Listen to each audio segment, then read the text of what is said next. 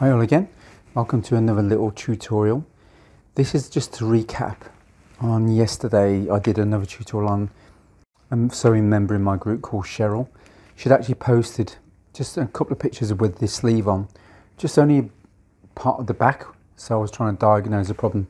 But now she's taken the sleeve off, I know what the actual problem is now.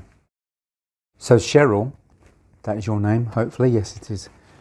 Your back shoulder is way too long. So that needs to be brought in. And also you've got to do the, exactly the same on your front shoulder. So what exactly, whatever you put, take in on the back, you've got to take in on the front. You can actually, it'll be easier to put them together and then you draw over the shoulders when they're joined together. Be easier that way. But I'm just going to quickly show you this way. Also, your back width is too long as well because the actual fabric is coming over your shoulders and it's going right into your arm. So this has got to be reduced and also the front has got to be reduced. But also your armhole has got to be reduced here as well. And of course that's going to affect your sleeve which I'm going to get on to in a minute or two. So what you need to do I'm only guessing from from you because I can only from your photographs. I reckon a good maybe half an inch on your shoulder at the back. So just bring that down and just use, I use chalk when I'm actually doing curves. And on my new course, which will be launched in a few weeks time, I actually talk and demonstrate how to use chalk, freehand curves, doing curves freehand instead of using the French curves. So try and use chalk and try and do some freehand curves. It's a lot easier than you think and it's, it's quicker.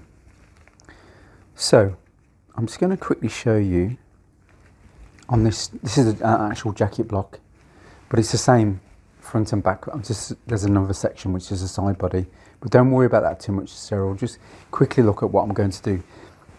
So if you go from the back about half an inch, and then if you just come down, and then just bring it right down because you need to get rid of this, and you need to come down into your armhole as well. I can't tell you how much of your armhole to do. Remember I was telling you about, depending on the fold, pin it, the fold on your back, chalk it on either side of the pin and then take it apart. And those little chalk marks should tell you how much to take in this armhole. I'm not going to talk about too much about this armhole for this book. You'll see when I draft a sleeve, from a one piece sleeve to a two piece sleeve, I'll talk more in depth about armholes because in Bespoke Town we actually the higher your armhole is, the more movement you got with your arm. But I'm not going to talk about that in this little tutorial. So just come down here. So from the top, I think about half an inch over, you're going to have to judge and get someone to mark you, mark in, but I reckon about half an inch. And come down, chalk, go under your arm and come back up your front as well. Now that's got to be exactly the same. So if you take half an inch, you've got to take half an inch on the front. So whatever you take on the back, the shoulder, you've got to take on the front as well. So if it's half an inch, half an inch. If it's quarter of an inch, quarter of an inch. And you're going to do this on the front as well. You've got to just scoop out that because you've got too much excess on the front and back. You'll see it on your arms. So just bring that back up there, whatever that is. And you've got to See? So whatever that is there, it's the same. I mean, I've done it less, but you understand what I'm trying to get at. So how much you take off that, you've got to take exactly off that. But it's easy that when you put the shoulders together, you can actually get a nice line across. So there we have it. So you've got to take off your front and your back. Your front and your back, the same width at the top. Your shoulders are too long. You can see it's actually hanging over your arm, your shoulder, which you shouldn't have. And also on the front, you can actually see it's going into your, your actual bicep, your arm. So that's all got to be trimmed off. And also your armholes, that you've got to scoop that out and get a little nice scoop, a little nice what we call a sewing run. A nice run there. And go back up your front and go back up to the exact width you're going to take off on the back shoulder as well. So hopefully this has helped you with the new alteration. That should fix a lot of your problems. Right, Cheryl, if you put your two shoulders, let me just pan this here to get rid of this chalk I've just done. messy, this table is at the moment. Now, if you put your two shoulders, your back and your front shoulders together, it'll be easy for you to actually draw your line right through. They've got to be equal either side, okay? So you can do this and then get, come down that way. So you can do this method as well, which will be a lot easier for you, especially when you're beginning. Okay, so that's just easier to do this way. Just put the two shoulders, the front shoulder and the back shoulder, and then just go over how much you're going to take in. I think on your shoulder, you'll have to take in probably about half an inch. So hopefully this has helped you. Now, it can be your sleeve. So I'm going to quickly show you the sleeve. Now I drafted a one piece sleeve here. So I'm going to show you. Later on in my tutorials, I'm going to show you how to, I've just drafted this a couple of minutes. I'm going to show you how to draft a one piece sleeve and then adapt it into a two piece sleeve. And on jackets, you should always try and put a two piece sleeve in because it's shaped from the elbow down, it actually shapes and you'll get a bit a better fitted sleeve for the jacket. Now, traditionally, on bespoke jackets, we put a two piece sleeve in. So this is a two-piece sleeve. This is the top sleeve, and this is what we call an undersleeve here. Let me quickly show you there. Just turn this over. Now, you have a problem with the undersleeve here. Now, when you put the top sleeve and the undersleeve together, you stitch it on the hind arm and you stitch it on the inside seam here, and that's how it would be. Now, if this was a two-piece sleeve, Cheryl, which yours is not, I would actually scoop out from the hind arm because if you look at your hind arm, there's a problem at the top, at the back.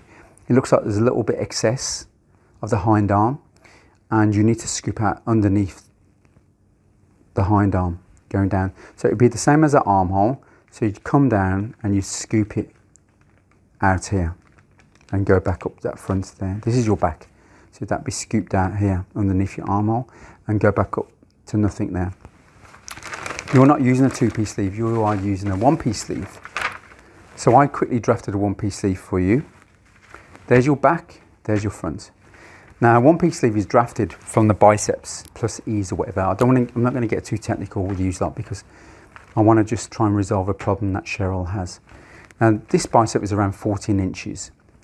So you establish your center line, and half of that center line you come out seven inches, and half of that centre line you come out another 7 inches so that will equal 14 inches. Now half of this from the edge to the centre line you mark your back line. So that's half. So you measure that would be three and a half inches. That would be drawn your back line and you do exactly the same for the front. So half of that measurement from the centre to the edge you'd get your front line and that's that.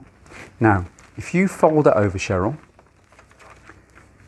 and then meet that in the middle if you transfer your middle to the wrong side, meet that in the middle, and there we have it. And that's how your sleeve would be when it's sewn up on the inside. Now, we need to scoop out this from the back hind arm. If you look at your back hind arm, you'll see there's a bit excess there. So we need to come from up here.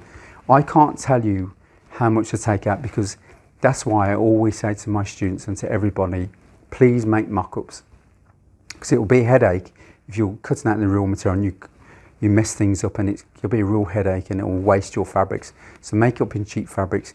Then you don't mind if you make mistakes or you've, you've scooped out more than necessary. So from your back, this is your back, remember, I've marked back. Come right from the top and do exactly like you do on the underarm on the, on the jacket on the front, your armhole, and come down. I can't tell you how much to come down, so you, it's kind of guesswork. So come down and scoop that armhole out and then come back up to nothing on the front, as in go back to nothing. See? And you need to scoop this out. And then you just cut it. So you cut the back and cut a little bit of the front here because you've got to go back up to nothing. And then at the front here. But the easiest way is just put them together, remember? And there you go. This is what you need to scoop out the underarm here, this under the sleeve. And you've got to go back up to nothing on the front here. And there we have it. Hopefully that's helped you. And I'll see you all soon on the tutorial because I will be showing you how to draft a one-piece sleeve and I'm going to develop it into a two-piece sleeve. So on that note, I'll see you soon. Ciao for now.